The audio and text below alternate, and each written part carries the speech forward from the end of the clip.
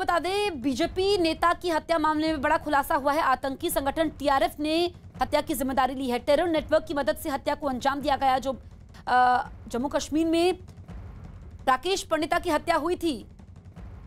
उस मामले में यह बड़ा खुलासा हुआ है और बड़ी बात यह है कि राकेश पंडिता को पहले पीटा गया था।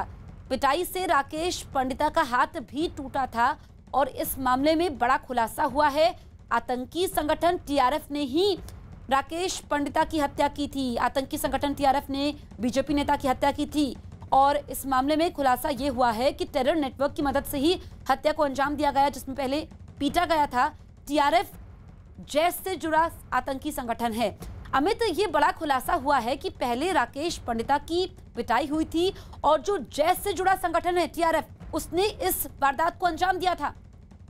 जी, सोची समझी साजिश के तहत इस हत्याकांड को अंजाम दिया गया था और इसमें ओवर ग्राउंड वर्कर जो लोग आतंकियों की मदद करते हैं लगातार, उसकी एक ग्रुप के सक्रियता की का मामला सामने आया है और उनको पता था, इस ग्रुप को पता था कि कहाँ आएँगे वो और कहाँ रुकेंगे और किन लोगों से मिलेंगे। तो उन पर हमला किया गया, उनको पहले मारा गया, उसके बाद उनकी हत्या की गई। और एक तरीके से सुरक्षा एजेंसियों के सूत्रों के मुताबिक ओवर ग्राउंड वर्कर्स को फिर से सक्रिय आतंकी बनाने की कोशिश घाटी में हुई है और टीआरएफ इसमें बहुत रेजिस्टेंट फ्रंट एक आतंकी संगठन है जो कि कुछ महीनों पहले बना था। ये इसमें तीनों गुट के जो आतंकी हैं, वह शामिल है। वह अपनी सक्रियता दिखा रहा है, वह निर्देश दे रहा है और वह ओवरग्राउंड वर्कर को सक्रिय आतंकी बनाने की भूमिका अदा कर रहा है।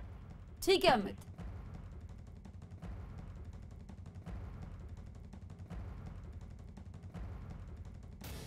यूपी में अब सिर्फ़ चार जिलों को छोड़कर राज्य के इकहत्तर जिलों में कोरोना कर्फ्यू की पाबंदियों में ढील दी गई है। सिर्फ़ मेरठ, लखनऊ, सहारनपुर और गोरखपुर में ही 600 से ज़्यादा एक्टिव केस होने की वजह से पाबंदियों में ढील नहीं दी गई है। यूपी के गाजियाबाद में भी कर्फ्यू में ढील दे दी गई है। यहाँ दुकानें सुबह सात बजे से शाम सात बजे तक खुलेंगी। हालाँकि वीकेंड कर्फ्यू जारी रहेगा। वहीं गौतम बुद्ध नगर में कंटेनमेंट जोन से बाहर वाली सभी दुकानों को सोमवार से शुक्रवार तक खोलने की इजाज़त दे दी गई है।